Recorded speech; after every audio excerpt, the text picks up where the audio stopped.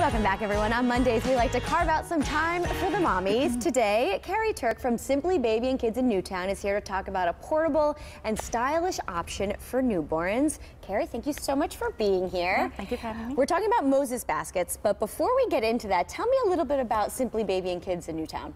Simply Baby and Kids is in Newtown, mm -hmm. and we've been in business since March of 1992.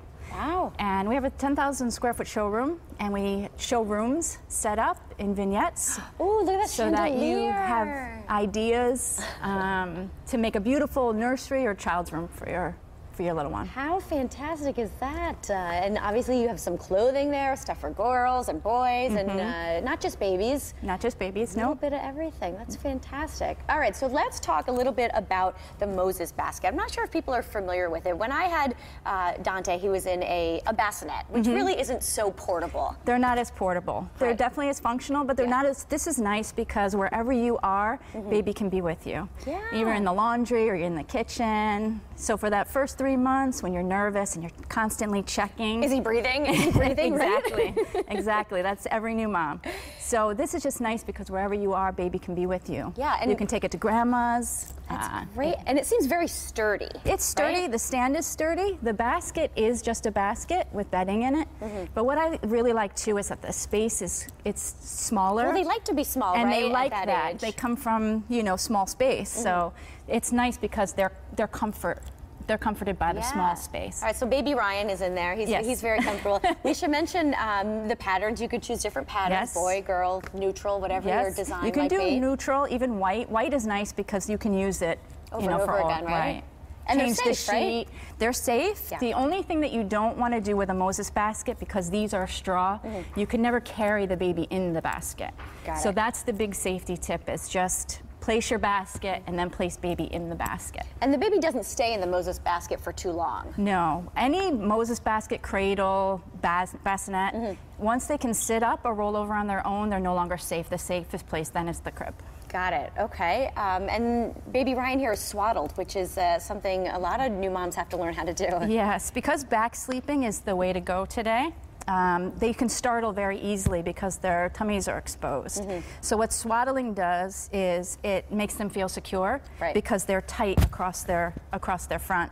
Got it. Um, so even after a few weeks of swaddling, you can take their arms out as well, but still swaddle around their middle tight, and yeah. they'll sleep so much better. My little guy would like to break free, and his arms would come out anyway. But it's not too difficult to do. I mean, once no. you do it, probably the first 20 times, mm -hmm. you get it under control. and this is nice, like a muslin swaddle, because it breathes. You know, you want your baby to sleep in cotton with a cotton blanket so that when they perspire as they sleep, mm -hmm. it evaporates and they breathe. And uh, eventually, once they do get in the crib, it's important to remind moms and grandmas out there uh, not to have anything in it. No blankets, no pillows. Right, nothing loose okay. in the crib. And then once you're done with a basket, mm -hmm. you want to make sure your crib mattress is lowered to the lower setting. That's important too. Yes, because Be just like I experienced the other day, they could start climbing up and they're standing, staring at you. Right. Come and, and get me. Overnight, and you didn't even, right. So once they can sit up or roll over, the safest way is to lower your mattress all the way down. Got it. Um, Carie, let's talk a little bit about trends. What type of colors are you seeing? Um, anything new? We see um, actually right now a lot of neutrals um, with a, just a pop of color. Mm -hmm. So whites or ecrus, and then you know the splash color. Like we have aqua here. Yeah, because this could go either way. Um, but this would be really pretty with pink or with orange mm -hmm. or with blue as a as an accent color. Yeah. Um, and the, the stand itself is, is very light and easy to move. It's light, it, right? so you can take it, you know, on your own wherever wherever you'd like it to be. You throw it in the car. You, you throw it in to, the right? trunk and take it to a friend's. Yeah. So uh, when I was planning uh, the baby's nursery, the, one of the most important pieces of furniture I think is the glider. You have all different varieties of gliders. We have wooden gliders. We have upholstered chairs that glide. Yes, mm -hmm. that is just a comfortable place, right, to read and to nurse and. Yeah. And the best part is you guys are offering quite a promo. Yes, we are, actually.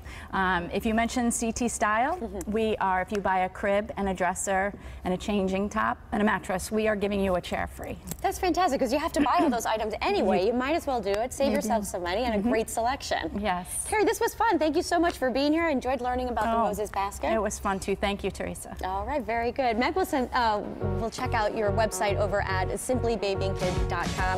Meg, now we'll send